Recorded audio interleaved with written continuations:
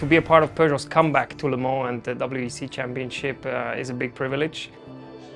There's just this, this kind of aura around the team uh, of, of the history they have and you know of what we, we hope to achieve in the coming years. WEC is having a golden era now and, uh, and having the opportunity to, to carry on you know, that legacy about Peugeot and endurance racing.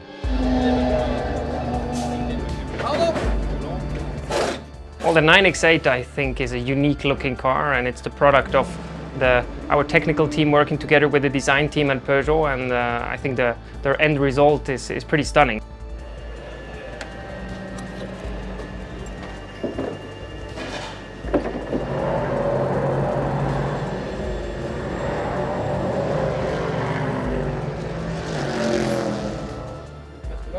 on passe de l'autre côté du mur. Yeah, Sebring is a great first test for all of us as a team. You know, uh, here you cannot afford to make a small mistake. It's very unforgiving, otherwise you end up in the tire barriers. The track changes every year because the concrete is falling apart. They try to fix it a little bit, but they never resurface uh, anything, on, and the concrete is the same it's been for, I think, more than 100 years. It rattles your bones, it shakes the cars apart, and it really gives us an idea um, if we do have any failures or issues on what we need to pinpoint and work on to go to Le Mans knowing that we have a bomb-proof car and team. So uh, I think Sebring plays a huge role.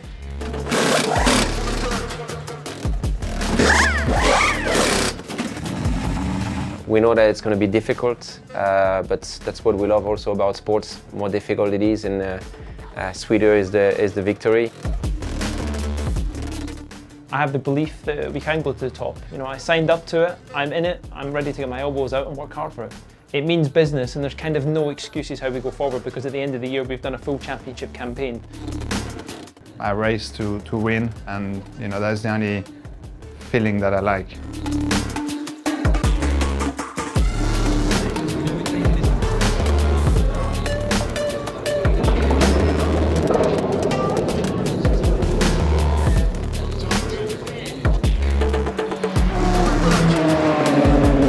Two clean laps uh, I did.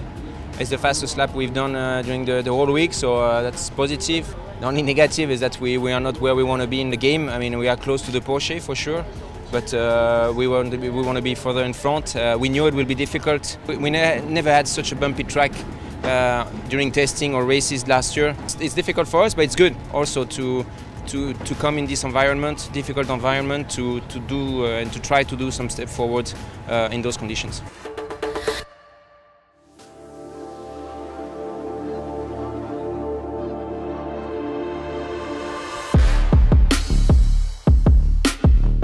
Well, it's going to be a long race. I think uh, it's very important to, to finish it with no no mistake, no issues.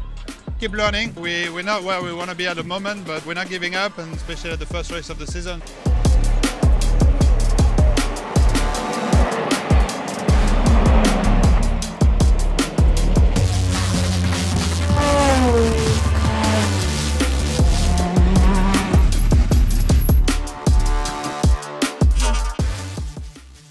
The car turns, uh, turns uh, red following a issue, you know, the, the hybrid. So we, we had to box to fix it, uh, which took uh, eight or nine laps. Having those issues in the first two hours, uh, it's uh, it's weird, but we have to look the data and try to understand what happened. I